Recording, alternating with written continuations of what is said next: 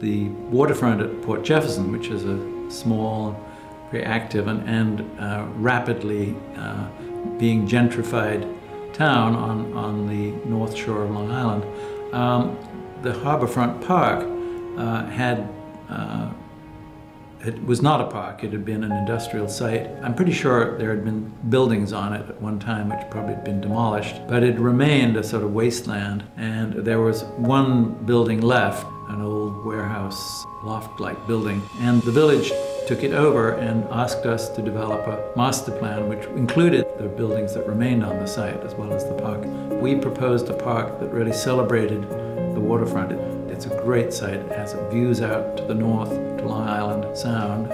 We proposed shaping the landscape somewhat with the reintroduction of fill so it wouldn't just be a dead flat space, but essentially being a green space. And, and we were very concerned that it would not be taken over by um, active recreation um, because we wanted to make it accessible to people at all times and not suddenly, oh, you can't go into the park because there's a, there's a major uh, soccer game going on or whatever it might be.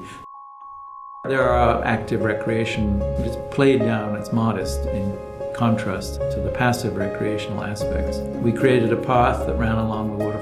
There is a little beach, but it's not really accessible and not reusable. It was really more a matter of making paths that ran along the, the top of the embankment at the shoreline so that you could circulate through the park. There was a pier which allowed boaters to moor their boats. The last remaining industrial structure, the old Chandler rebuild, uh, we turned into a community center and it's been very successful. It's used for all sorts of activities. They have dances there, they have concerts.